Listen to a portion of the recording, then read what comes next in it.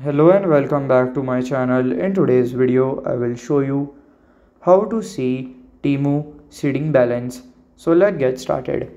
So if you want to see the Temu balance, then you have to follow this easy step.